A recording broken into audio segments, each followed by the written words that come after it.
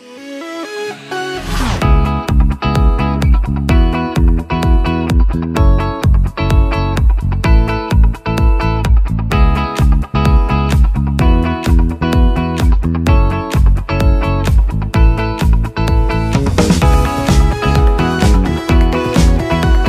d'habitude en Méditerranée, on n'a pas besoin d'utiliser la pile, c'est vraiment que la nuit.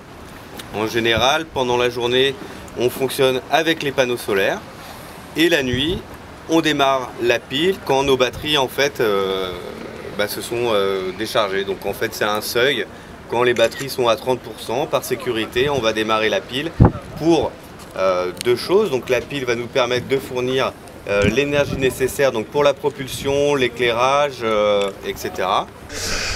On est ici à bord de Energy Observer, un bateau qui a entamé une odyssée technique, une odyssée technologique, une odyssée environnementale pour euh, essayer de promouvoir les solutions du futur pour une euh, énergie euh, propre, durable, et puis pour préserver les acquis technologiques, mais également développer les acquis technologiques et préserver les acquis environnementaux.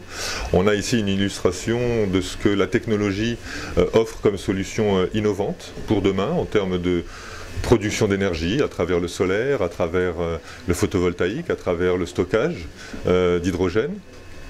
Et donc euh, cette, cette, aventure qui a été entamée avec le soutien d'Engie illustre aussi les solutions qu'Engie met en œuvre pour promouvoir les énergies renouvelables et l'efficacité énergétique.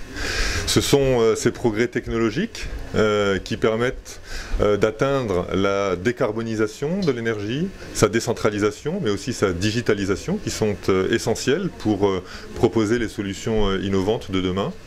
Et ici, on a une nouvelle illustration de ce que nous sommes capables de pouvoir réaliser on a vu avec Solar Impulse, cet avion qui a fait le tour du monde à l'énergie solaire, et bien maintenant dans les airs, sur mer, sur terre, on voit que la révolution énergétique est en marche.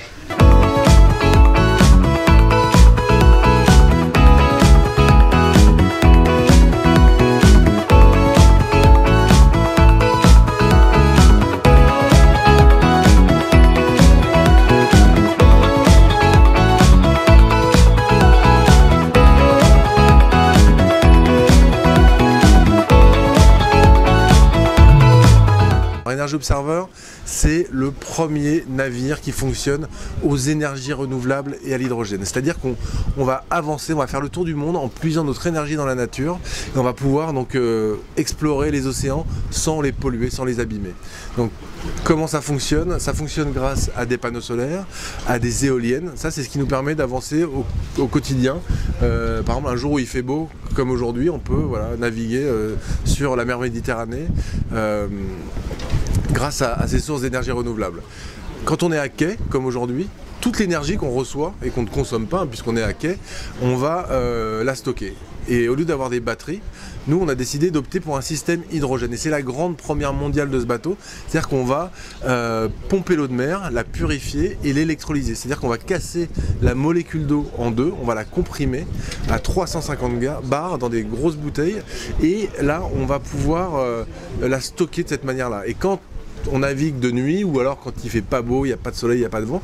Là, on va transformer cet, hydrogène en électricité grâce à une pile à combustible qui va nous permettre euh, bah, de continuer à naviguer dans n'importe quelle condition.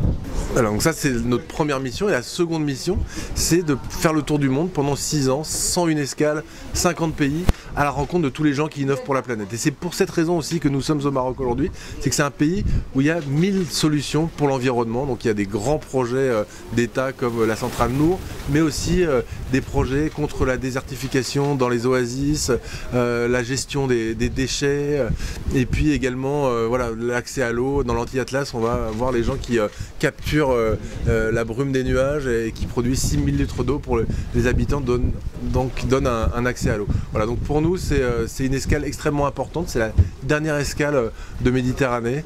Et on est très très heureux euh, d'être au Maroc aujourd'hui.